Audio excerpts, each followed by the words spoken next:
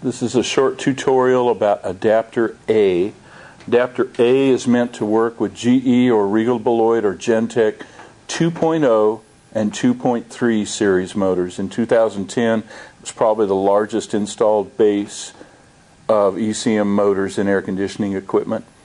It's the adapter that comes also in your Universal Zebra. So let's talk about how you actually do the troubleshooting. You open your Universal Zebra, you make sure that you hook up the 24 volts only to 24 volt power sources. If you ever hook up to, two, to 220 or 110, it will probably destroy your tool as well as any modules that happen to be connected to it. So it's a good idea to hook up your power, your 24 volt power first, and make sure you've got a nice blue pilot light on the tool telling you that you've got the right voltage. For this particular demonstration, we're going to use uh, a UZEXT extension or replacement harness to make it easier to see what I'm doing while we're demonstrating the tool and the adapter. This is uh, simply a, uh, an 8 pin connector and another 2 feet of cord that allows you a little bit more room to manipulate with. Uh, you don't usually don't need one of these, but it's also it's nice to have in certain situations. This is your motor adapter. To do this safely, you disconnect the power going into your equipment for a moment. This type of motor requires you to disconnect the power harness first from the motor. This is your power harness. It's characterized by two squeeze tabs that have to be squeezed before it's pulled. Something that a lot of people don't know is that with these type of motors, this 2.0 and 2.3 series, they can be either the motors can be run at either 120 or 240 volts, depending on if this jumper between the last two pins is in place or not. So if you have a jumper on it, you run then the incoming power needs to be 110 volts. If you don't have a jumper, then the incoming power, the first two wires of this harness, have to be 240. Again, any of those motors can be operated on either voltage depending on this jumper. If you ever put 240 into any of the motors with this jumper in place, it will probably destroy the motor instantaneously. The reason why I'm discussing this is again because you have to remove this jumper to get to the little side clip that's on the connector for your circuit board going to the motor in order to get your fingers in there, you have to remove that other harness first. So we're going to disconnect that harness right now from the circuit board and just leave it disconnected. You do not want to disconnect or connect either the power or the signal while the motor while the while there's power coming into these connectors. The motors have capacitors that charge rather rapidly and if they're discharged and you plug in a live cord you're likely to get a spark come out of it, and the spark could get you. So we plugged in our signal harness, and we're plugging in our power harness. And now I'm going to return power to this unit. My blue pilot light is on, telling me I have 24 volts coming into the Universal Zebra.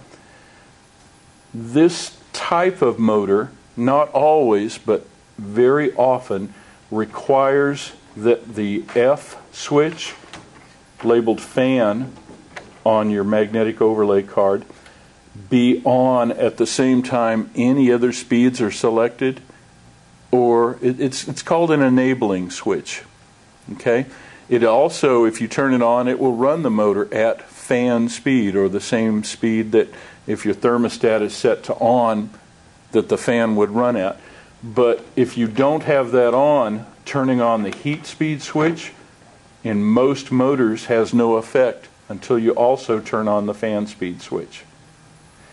When these motors start, they quite often rock back and forth for two or three seconds to determine the rotation that they're supposed to go at.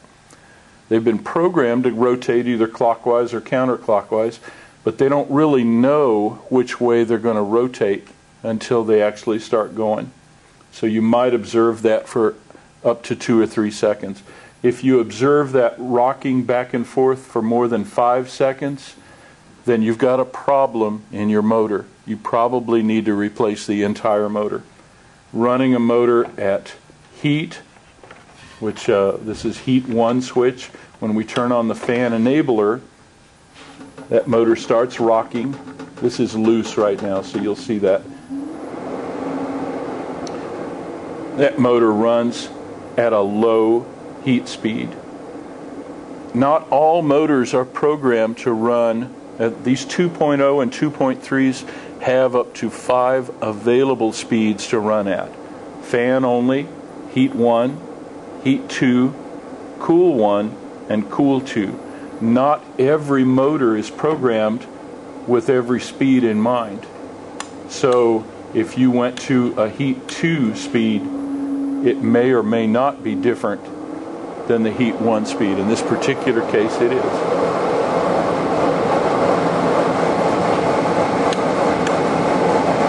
The motors have a ramp up and a ramp down time so that when you disconnect power going to the signals on that motor by turning all three of those switches off, that motor might continue to run for another two minutes. So it's not an unexpected thing. It's, it's, it's not undesirable. It's getting rid of all the heat that's in the heat exchanger.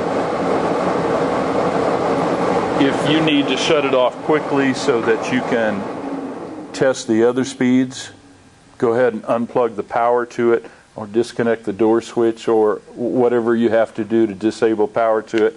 Wait until the motors completely stop turning and then you can re energize it and test on another speed. We're going to be testing on a high cool speed at this point. Again, we always energize the fan with this type of motor because it requires that.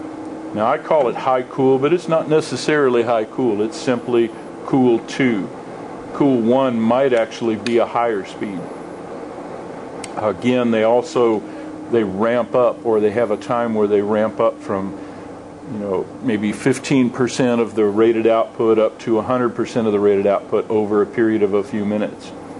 This particular motor seems to have its highest speed on the H2 or heat 2 setting. Going to disconnect this so that you can hear my voice for a while. When you're testing a motor on different speeds, you won't always find that the manufacturer of the equipment adheres to what the industry calls a standard. H1 and H2 normally sound like heat speeds, C1 and C2 normally sound like cool. We found a couple of manufacturers, uh, big manufacturers, that didn't realize that they were using unconventional methods and they used a heat speed for a fan speed and a cool speed for a heat speed.